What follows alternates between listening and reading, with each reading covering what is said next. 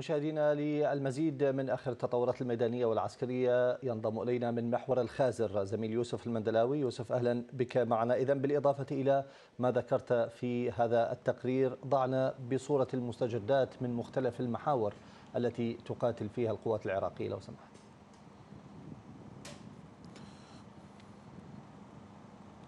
نعم حيدر مساء الخير. يعني كما جاء في التقرير هناك نوع من الهدوء الذي يسود أو تسود المناطق المحررة في الساحل الأيمن في جبهات يعني الشمالية والشرقية والغربية.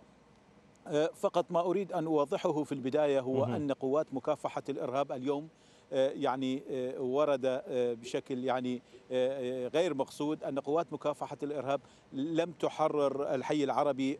من حرر الحي العربي هي قوات الجيش في المحور الشمالي. اليوم كان هناك يعني تصريح لأحد قادة هذه الفرقة.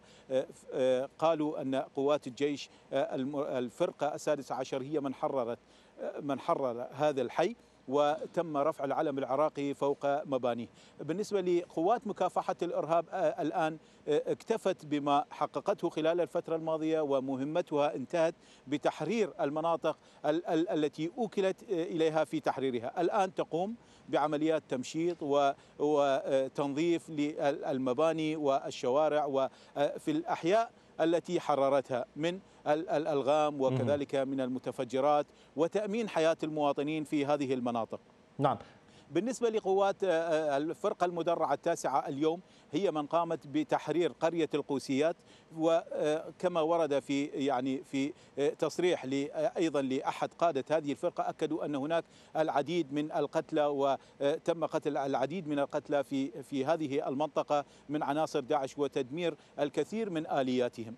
بالنسبة لقوات الشرطة الاتحادية الآن أيضا تقوم بعمليات تمشيط وتنظيف أيضا في المناطق التي حررتها في الجنوب الشرقي لمدينة الموصل.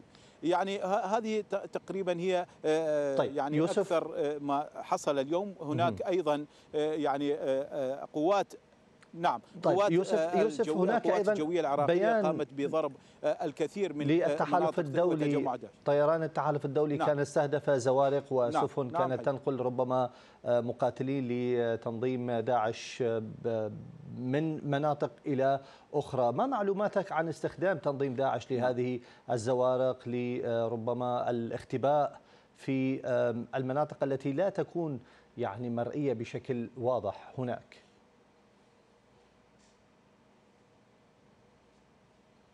يعني عناصر داعش الآن ليست أمامها سوى أما الاستسلام للقوات الأمنية أو الفرار. ما تقوم به الآن هو محاولات بالزوارق والقوارب للنجاة والنفاذ بجلدهم من هذه المناطق إلى الساحل الأيمن. لكن بطبيعة الحال قوات التحالف طائرات القوات التحالف ترصد هذه التحركات وتقوم يعني باستمرار بملاحقتهم وضربهم في هذه المناطق.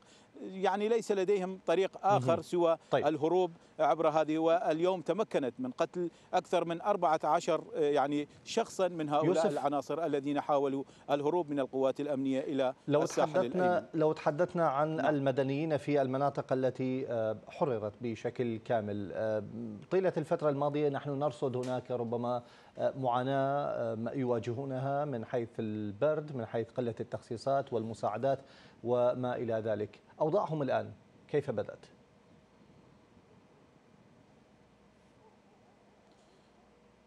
يعني أوضاع هؤلاء المواطنين يعني حتى هذه اللحظة يعني ربما لا تكون جيدة. يعني ما قامت به قوات القوات الأمنية سواء قوات الشرطة الاتحادية وقوات مكافحة الإرهاب هذه القوات حررت مناطقهم ولكن هذه المناطق يعني يمكن أن نقول إنها منكوبة، هؤلاء المواطنون يعني بحاجة إلى مساعدة، بحاجة إلى خدمات، بحاجة إلى يعني كهرباء، بحاجة إلى قنينة الغاز كما سمعنا من أحد المواطنين الفارين أو النازحين. قالوا أن قنينة الغاز تجاوزت ال ألف اليوم ربما اقتربت من ال 25 أو ال 20 ألف دينار. طيب. هذا يعني أن هذه سكان هذه المناطق ما زالوا يعانون وما زالوا يوسف يريدون المساعدة نعم. سواء من الحكومة أو من يعني القوات الأمنية قبل أن أودعك بودي سؤالك أيضا عن الزميلين حميد زيباري ومساعد المصور ياسر سالم كيف بدت صحتهم الآن؟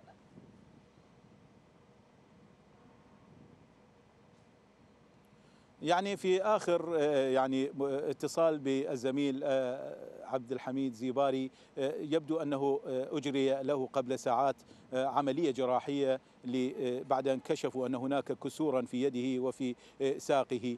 وربما سيبقى في المشفى إلى حين أن أن يعني يعود إلى صحته الكاملة. أيضا هناك شظايا في جسده ربما يعني ربما تحتاج إلى بعض يعني المعالجات لكن بشكل عام حالته مستقرة. أما الزميل ياسر فغادر المشفى والآن هو في البيت ويعالج داخل منزله وبين عائلته. نتمنى لكم السلامة جميعا زميل يوسف نعم. المندلاوي كنت معي من محور الخازر. شكرا لك.